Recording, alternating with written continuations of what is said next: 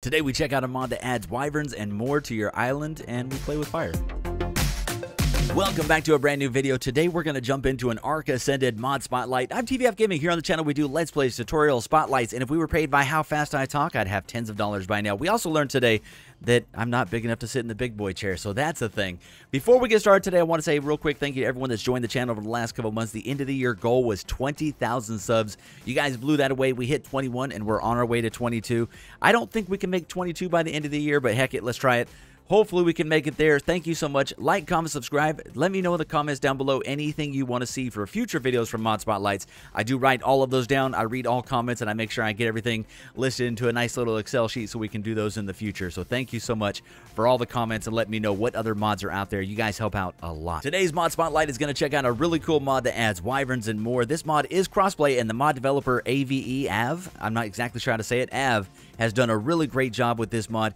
They've done a good job of making sure that it's updated and it hasn't really crashed anything recently. Like I've been playing with it both on Xbox and PC and not really had a problem with it. I also installed it on my test server and it spawns really well across the island. What's really nice is a lot of these dino mods, it takes them a while to get their spawns just right. This one actually does pretty good about having the different spawns all across the map. So I really enjoyed seeing that. There was actually a, a friendly dragon right across the way from us just a little bit ago. Now, as we alluded to, the name of this mod is Draconic Chronicles. It is a mod that aims to add more draconic creatures and structures into the base Ark, and their aim is to keep the weapons and structures and creatures all as balanced as possible. So it is balanced around vanilla, but obviously you know wyverns are pretty powerful, so that is a thing. Let's go ahead and quickly check out some of the stuff here in the mod. You guys know how we do. I just do kind of like an informal run through of some of the things. We don't fully test it out. This is a mod spotlight, not a guide, but we do try to set you up with a little bit of information or knowledge about the mod. If you want to see more about it, we can definitely do more of a deep dive or we can do a playthrough with it in the future. But let's go ahead and check it out. These are the structures over here. I'm always excited when I jump into a mod and I see that there's more than just that initial stuff. Like I looked at the mod, I was like, oh, there's some cool wyverns in here. That's really cool. But there's also some really cool structures that I really enjoy seeing, and they've really thought through this mod really well. So excited to check this out. Let's go ahead and look at it. Obviously, this is just a throne, which is way too tall for my poor little short guy. This is your first thing is Dr Draconic Shrine. This is where you make a lot of your stuff. Some of the saddles, boom, and all of the structures. There's quite a few structures in this one, and they are yeah, man, they've all got pretty decent crafting recipes. We were looking at it. The egg incubator is huge. But this is the shrine. This is where you make a bunch of the structures and the saddles.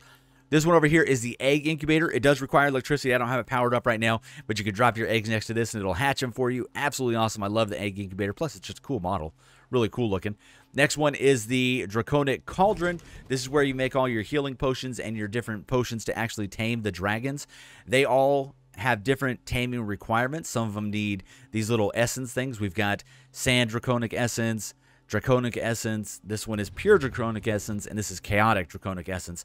And the last one is Rejuvenating Draconic Essence. If you want to see which one is for which, definitely go to their Discord and check that out. They did a great job in their Discord laying all that stuff out to include spawn codes and stuff, so go check that out for sure.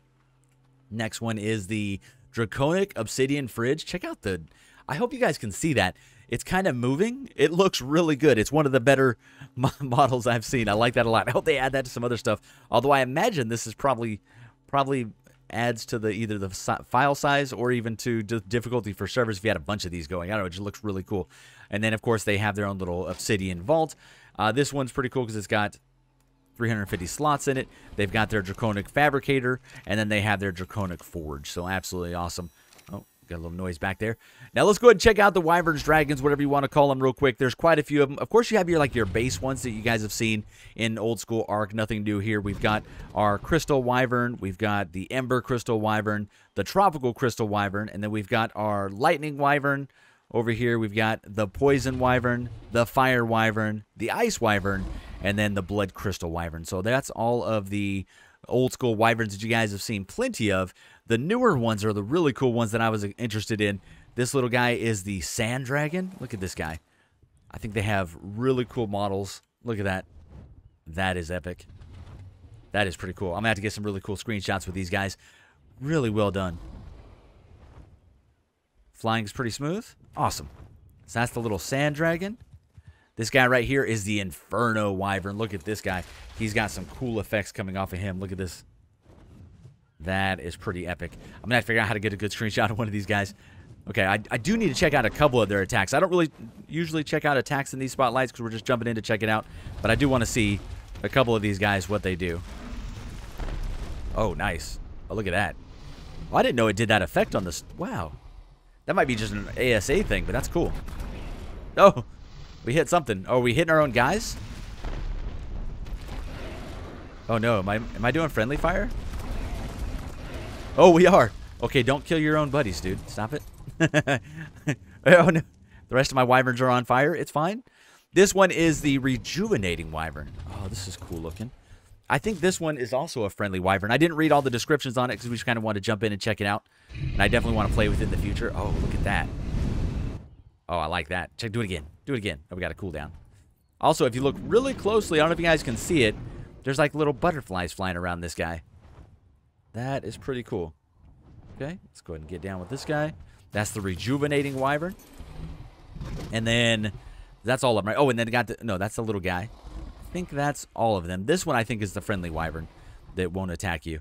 Same with like the crystal wyverns, kind of like back on Crystal Isles back in the day. All right, and then the big guy, the polar dragon. This guy, from what I was looking at, does have a special saddle. Let me see, polar. Yeah, polar dragon platform saddle. I think I can craft it real quick. Let me see, platform. I would love to have a, big old platform saddle with this guy. Polar platform saddle. Boom. All right. What's up, big dude? This dude, this, look at the the skin on this guy is sweet. And we can ride it without a saddle, but we throw a saddle on it. Now we have that big old platform saddle. Boom. Oh, I can't get up to it, though. Oh, we would need a ladder to get up there. This guy is huge. Oh, yeah, that's not happening. but there you go. This guy is massive. Let's go ahead and check out what he does. Left click, right click, nothing. C button. Oh. Okay. X button, control, Let's see if we do anything while we're airborne. No, he, he is just massive. Oh, he is shooting something with the C button. Okay. I don't know what button that would be. I think, is that like... Uh, I think it's like left left mouse or left bumper or right bumper. No. Left thumbstick or right thumbstick on the Xbox. All right. Dude, this dude is huge. Let me go check this out. So if you go look at some of these guys while they're out there, it'll tell you down there uh, with our spyglass that we're using, which, by the way, you can see down there is the Super Spyglass by Kavan.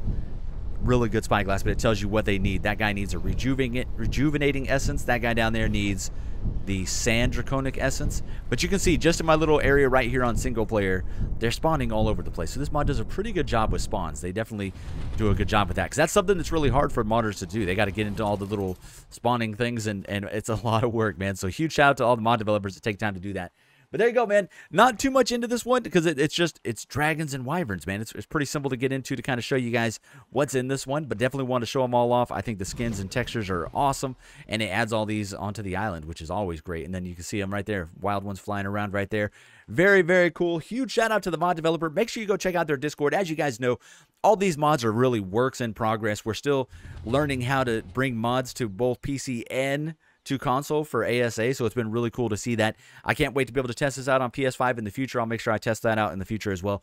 But I really do appreciate you guys joining me for this video. We will have more solo mod spotlights as well as each one of these mods is going to end up in a YouTube short for now on. We're going to start recording both the full video and then cutting it down to a YouTube short. So I'll be putting out both those if you guys want to see more like short, short content.